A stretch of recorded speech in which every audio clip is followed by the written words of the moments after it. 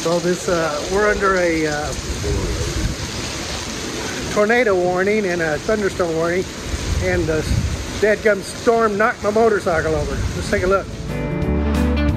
Lone Star Rider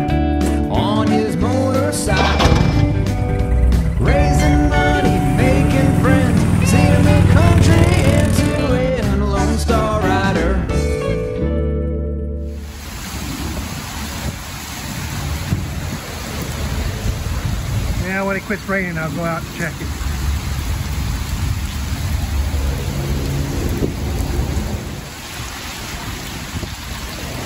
It's not as windy as it was. It's Kind of slowed down a little bit. But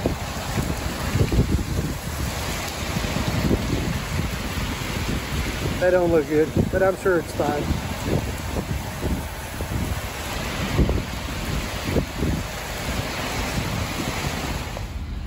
Well, still kind of got of a light rain out here, but the storm is pretty much past. There's the bike.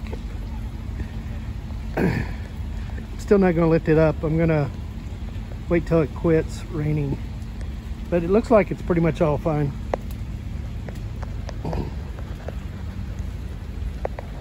Yep. is already down, so it'll count. All right, so I'm gonna grab this and this. Hang on, okay, now. See, that wasn't too hard. Well, it's like I was telling everybody, it's this.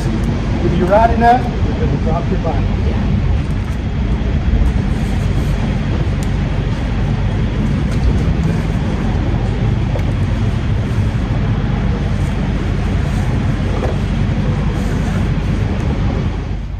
Well, guys, all that messed up was this uh, highway peg and tore up the end where it caught and held this down right here. So I'm gonna have to rearrange everything in my trunk, threw everything over. The trailer, just fine, no problems. The very first day I uh, slept in the trailer, there was a storm like this that came by in Burnet, Texas, and it scared the hell out of me. But kept me dry, and the trailer was just fine. So I wasn't worried about the trailer, unless there was a tornado. But the sun is out on the other side of this hotel, and you see there, it's uh, it's pretty much passed us by, uh, which is a good thing.